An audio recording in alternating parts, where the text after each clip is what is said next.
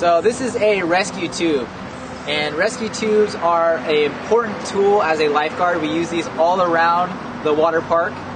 Uh, when you get your tube at the beginning of the day, it will look wrapped up like this. You can see it is all wrapped up there.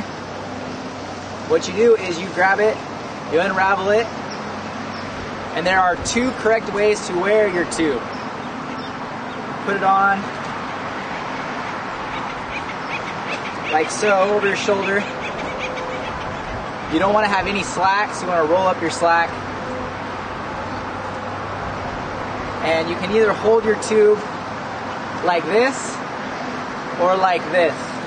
Those are the only two acceptable ways to hold your rescue tube. You don't want to do anything else like throw it over your shoulder or throw it or hit people with it or pick at it. You only want to hold it those two ways. These are super floatable, they're buoyant, they can hold up to three people. You want to trust your tube, it is going to be one of your most valuable tools that you use here at the Ravine. When you're done with your tube at the end of the day, you're going to fold it up, and I'll show you how to do that right now. So you take it off, you're going to go about six inches in, and you're just going to fold it up like this, all the way around, nice and tight.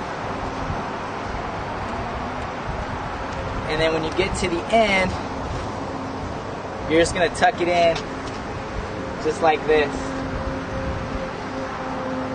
And then it'll hang up and that'll be it.